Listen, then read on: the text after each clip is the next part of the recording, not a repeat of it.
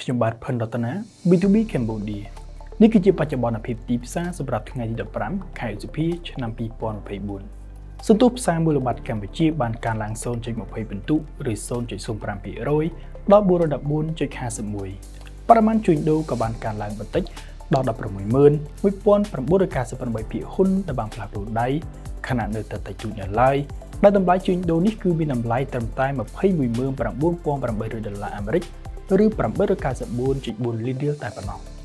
ធនាគារអេស៊ីលីដាបានកត់ត្រាការកើនឡើងភាគរយខ្ពស់បំផុតនៅថ្ងៃនេះ0.78%ឬ60រៀលក្នុងមួយហ៊ុនដល់តម្លៃ7800រៀល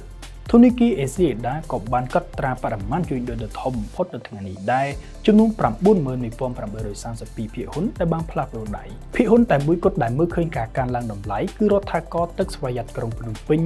ដែលបានកើនឡើង0.56%ឬ40រៀលក្នុងមួយហ៊ុនដល់7180រៀលក្រុមហ៊ុន Grand Twin International គឺជាអ្នកចាញ់ដ៏ធំបំផុតនៅថ្ងៃនេះដែលបានធ្លាក់ចុះ2.15%ឬ50រៀលក្នុងមួយហ៊ុនមកនៅត្រឹម2280រៀលក្នុងមួយហ៊ុននៅលើផ្ទាំងផ្សារគោលឬ main board ក្រុមហ៊ុនសាយកាតកំពុងផាយស្វយ័តក្រុងភ្នំពេញនិងកំពុងផាយស្វយ័តក្រុងប្រស័យនោះបានធ្លាក់ចុះតម្លៃខណៈដែលផ្សារហ៊ុននៅផ្ទាំងផ្សារគោលផ្សេងទៀតមានការកើនឡើង។ កំពុងផែស្វយ័តក្រុងបរសៃនុឃើញថាមានទំហំជួញដូរទីបំផុតនៅថ្ងៃនេះដែលមានពាក្យហ៊ុនត្រឹមតែ37ប៉ុណ្ណោះដែលត្រូវបានជួញដូរនៅលើផ្ទាំងផ្សារកំណើនឬ cross board វិញក្រុមហ៊ុន GS Line ឃើញថាធ្លាក់ចុះ0.5%ពី20រៀលក្នុងមួយហ៊ុនមកត្រឹម3970រៀលក្នុងមួយហ៊ុនហើយពាក្យហ៊ុនរបស់ DBD Engineering នៅតែដដែល ក្នុងព័ត៌មានទីផ្សារវិញតំបន់សេដ្ឋកិច្ចពិសេសភ្នំពេញបានរាយការណ៍ពីការថយចុះនៃប្រាក់ចំណូលដល់ធ្លាក់ចុះ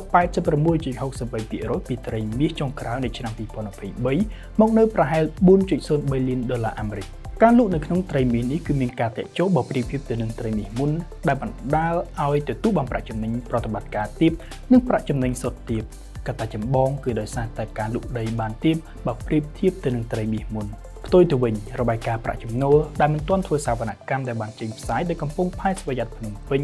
បានរៀបរាប់ពីកំណើន13%នៃប្រាក់ចំណូលសរុបដល់ជាង11.2លានដុល្លារអាមេរិកក្នុងរយៈពេល4ខែដំបូងនៃឆ្នាំ2024បើប្រៀបធៀបទៅនឹងរយៈពេលដូចគ្នាក្នុងឆ្នាំ2023បរិយាទៅដុល្លារអាមេរិកបានបន្តធ្លាក់ចុះបន្ថែមទៀតដោយ1ដុល្លារស្មើនឹង4079រៀលដោយសន្ទុះប្រាក់ដុល្លារអាមេរិកបានធ្លាក់ចុះ20សេនទៅប្រហែល104.82 តម្លៃប្រេងបានកើនឡើងនៅថ្ងៃពុធនេះខណៈគេរំពឹងថានឹងមានកំណើនតម្រូវការខ្ពស់ខណៈប្រាក់ដុល្លារអាមេរិកធ្លាក់ថ្លៃ Brent futures បានកើនឡើង51សេនឬ0.6%នៅ82.89ដុល្លារអាមេរិកក្នុងមួយបារ៉ែល West Texas Intermediate futures បានកើនឡើង55សេនឬ0.7%ដល់78.57ដុល្លារអាមេរិកក្នុងមួយបារ៉ែល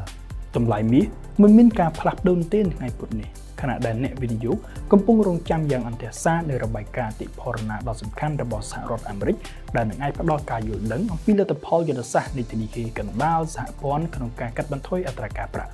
តម្លៃមាសទិញដូរភ្លាមភ្លាម spot gold បានរក្សានៅតម្លៃ2359.99ដុល្លារអាមេរិកក្នុងមួយអោនដែលជួញដូរក្នុងកម្រិតឡើងចុះរង្វង់6ដុល្លារនេះគឺបន្ទាប់ពីការកើនឡើង1%កាលពីថ្ងៃអង្គារ Gold future របស់សហរដ្ឋអាមេរិកបានកើនឡើង0.2%ដល់2365.5ដុល្លារអាមេរិក ខណៈពេលដែលផ្សារមូលបត្រកម្ពុជាត្រូវបានបិទនៅថ្ងៃអង្គារសម្រាប់ថ្ងៃបុណ្យជាតិផ្សារហ៊ុនរបស់អាមេរិកបានកើនឡើងបន្ទាប់ពីការចេញផ្សាយនៃទិន្នន័យសេដ្ឋកិច្ចថ្មីខណៈដែលអ្នកវិនិយោគនៅតែរងចាំរបាយការណ៍អតិផរណាដ៏សំខាន់មួយផ្សេងទៀត។ Nasdaq Composite បានកើនឡើង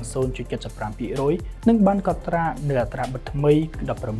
551.18 Dow Jones Industrial Average បានកើនឡើង126.6ពិន្ទុឬ0.32%ដោយបិទបញ្ចប់នៅ39 558.11 ហើយ S&P 500បានកើនឡើង0.48%បិទនៅ5246.68អរគុណសម្រាប់ការទស្សនានេះគឺជាបច្ចុប្បន្នភាពទីផ្សារប្រចាំថ្ងៃរបស់ B2B Cambodia you